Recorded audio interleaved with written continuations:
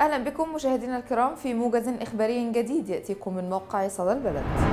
قال اللواء محمود نافع رئيس شركة الصرف الصحي بالإسكندرية أنه تم الاستعداد من يوم الاثنين الماضي لاستقبال هذه النوة متابعا أنه كان هناك تضافر في الجهود من قبل جميع المرافق والأجهزة تحت قيادة المحافظة.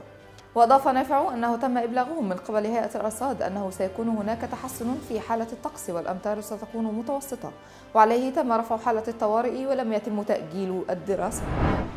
عقب الدكتور رضا إبراهيم كبير أطباء الصدر بوزارة الصحة على التصريحات التي تتحدث عن بدء الموجة الخامسة من فيروس كورونا. وقال الدكتور رضا إبراهيم أن الموجة الرابعة تنحسر بشكل كبير جدا وكذلك أعداد حالات الوفاة. وذلك نتيجة لأن الفيروس يصيب الجهاز التنفسي العلوي بشكل أكبر إلى جانب انتشار اللقاحات بشكل كبير جدا على مستوى الجمهورية.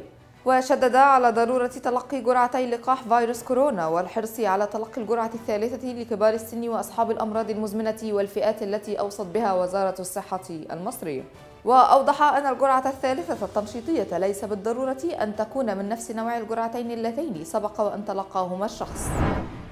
حذر الطاهر أبو هاجة مستشار القائد العام للجيش السوداني عبد الفتاح البرهان من أياد خفية تعبث بأمن السودان واستقراره.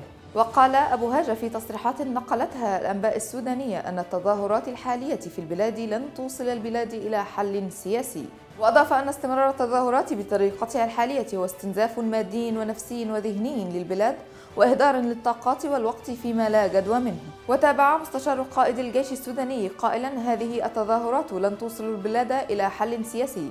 التوافق الوطني والالتفاف حول قضايا البلاد العليا والحوار هو الطريق الأوحد نحو استقرار السودان. واتهم أبو هاجة ما وصفها بأياد خفية بالسعي لجري البلاد نحو فوضى موضحا أنها لا تريد انتخابات ولا ديمقراطية وإنما تريد فترة انتقالية إلى ما لا نهاية.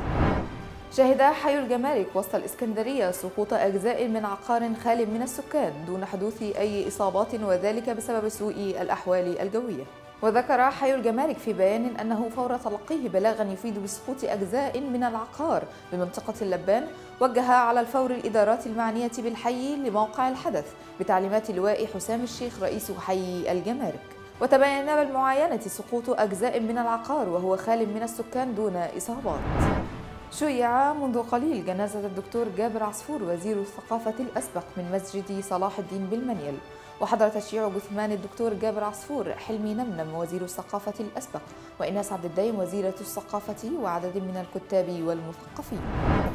شهدت أسعار الذهب اليوم السبت ارتفاعا ملحوظا في أول ساعات العام الجديد وسجل عيار 21 وهو الأكثر انتشارا نحو 798 جنيها بينما سجل عيار 18 نحو 684 جنيها وسجل سعر الذهب عيار 24 نحو 912 جنيها بينما سجل سعر جنيه الذهب نحو 6884 جنيها.